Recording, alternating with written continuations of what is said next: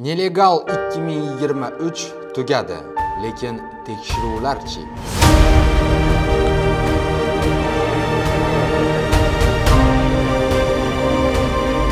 Makkada o'zbek farzandi dunyoga keldi. Inshaalloh. Bu ozon. Mana otasi ozon chaqiradi inshaalloh. Dollar kursi haqida oxirgi xabarlar. Sentyabr oyida dollar kursi 100 atmetkasigacha chiqadi va keyin yana 95-94 ga tushishi kutilmoqda. Barchangizga assalomu alaykum. Sizlar bilan Kamina hamroqulov Mirolim. Siz Uzbom TV kanalini tomosha qilmoqdasiz. Aziz obunachilar, bugungi videorolikimizda biz sizlarga eng oxirgi va kerakli bo'lgan xabarlarni chiqaramiz va shu orada aziz obunachilar Telegram sahifamizni ham sizlarga tavsiya etib qolaman. описаниеda silkasini qoldiraman. O'tib obuna bo'lib qo'ysangiz men xursand bo'lardim. Chunki u yerda kundan kunga bizni ashaddiy obunachilarimiz obuna bo'lishmoqda. Bugungi xabarlarimizga tayyor bo'lsangiz, albatta videorolik ostiga like bosing va kanalga obuna bo'ling. Qani unda biz boshladik.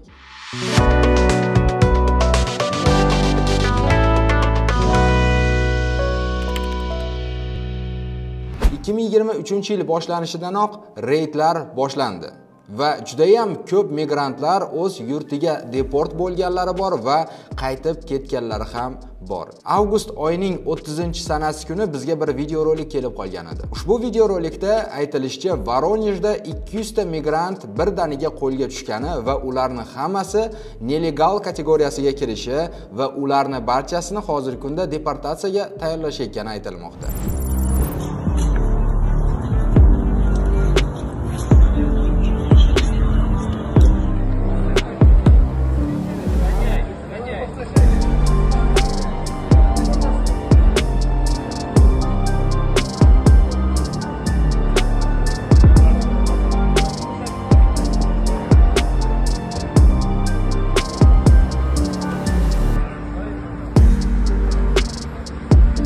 Va shu orada aziz obunachilar sentyabr oyidan 10 kunga nelegal 2023 reydi yakunlandi. Lekin hozirgi kunda ba'zi bir xabarlarga qaraganda bu reyd har oyda 10 kun davom etar ekan.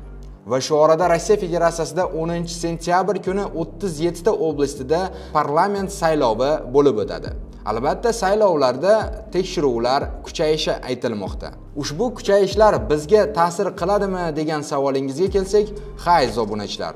Barcha migrantlarga ta'sir qilishi mumkin. Chunki parlament saylovida Rossiya federatsiyasini ichki ishlari jiddiy ko'chadagi betartiblikni bartaraf etishga harakat qilishadi. Bunday holatlar oldingi saylovlarda ham kuzatilgan, chunki uyushtirilmagan namoyishlarni bartaraf etish yoki teraktlarga ogoh bo'lish deyiladi. Shu orada Rossiya Federatsiyasining poytaxtida deyarli 2 kundan beri har bir aeroportlarda kovyor e'lon qilinmoqda, chunki dronlar uchayotganligi sabab bo'lmoqda. Shu orada eslatib o'tamiz, hozirgi kunda Rossiya Federatsiyasida taksistlar soni keskin tushib ketganligi, unga sabab hozir yangi taksistlar uchun qonun chiqqan. Endigilikda siz taksi bo'lmoqchi bo'lsangiz, MVDdan spravka kerak bo'ladi. Taksi parkingizga ushbu spravka nima? Ba'zi bir xabarlarga qaralganda, ushbu spravkada siz sudlanmagan va ugolovniy prestupleniyalar qilmagan bo'lishingiz kerak. Ushbu qog'ozni olish uchun qanday choralar ko'rilmoqda? Albatta, bu haqida taksi parklaringizdan ham so'rashingiz mumkin va bir necha dokumentlar qo'yilganligi sababli ham juda ham ko'p taksistlar ishsiz qolgani aytilmoqda. Yo'lovchilar ham taksistlar tanqisligiga uchragan va deyarli bitta taksi yo'lovchini yoniga kelish uchun 10-15 daqiqa kutayotgani aytilmoqda. Albatta, taksist akalarimiz bo'lsa, kommentariyada izohlar bilan yozib qoldirishlari mumkin. O'qib albatta fikr mulohaza qilamiz. Ushbu oyni boshidanoq quvonchli xabar ham bizni kutib oldi. Makkada umra safariga borgan o'zbek guruhidan bir ayolning ko'zi yorildi va u yerda o'g'il farzand dunyoga keltirdi. Hozirgi kunda xabarlarga qaraganda ushbu farzandni ismini Muhammad deb nomlashgan va videoroliki internet tarmog'ida keskin tarqalgan. Keling, qo'yib bersam. Qani kirdik endi jijimizni ko'rgani.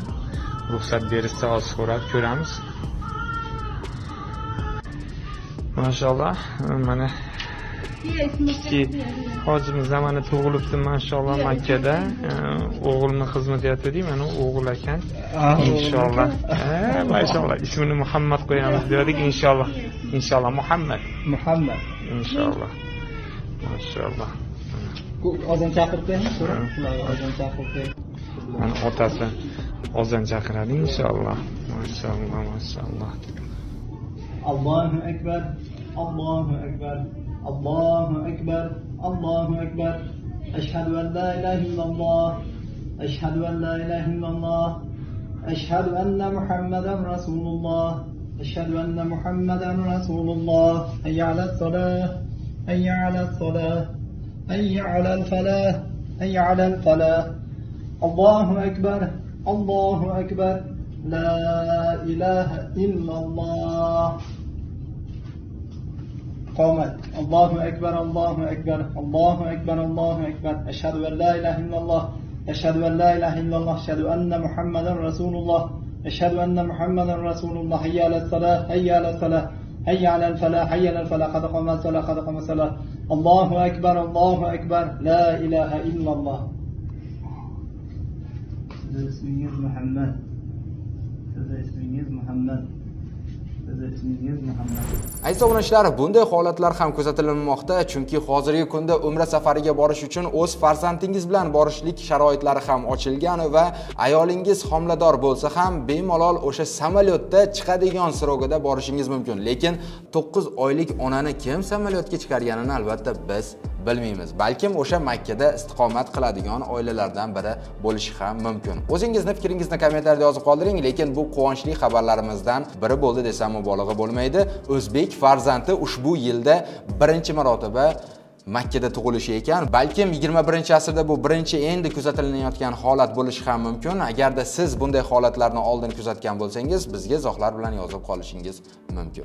Oxirgi xabarimiz dollar haqida. Albatta dollar haqida juda ham ko'p ma'lumotlar internet tarmog'ida tarqalmoqda. Bir taraf dollar ko'tariladi desa, bir taraf dollar pasayadi va rubl oldingi holatiga 65-50 gacha tushishi kutiladi degan gaplar hozirgi kunda asossiz bo'lib chiqmoqda. Hozirgi kunda birjada dollar narxi 96 gacha chiqdi va eslatib o'tamiz, avgust oyida Rossiya Federatsiyasining Milliy banki koeffitsiyentni 15 barobarga ko'tarib, dollarni 92 gacha rubl sootnosheniyasi qilgan edi, lekin hozir yana oldingi holatiga sekin-asta chiqmoqda. Va ushbu yili 2023-yilda dollarning eng piki 98 gacha yetib borganini biz xabar berib qolgan edik. Hozirgi kundagi ba'zi bir analitiklarga qaraganda, sentyabr oyida dollar kursi 100 atmetkasigacha chiqadi va keyin yana 95 94 ga tushishi kutilmoqda.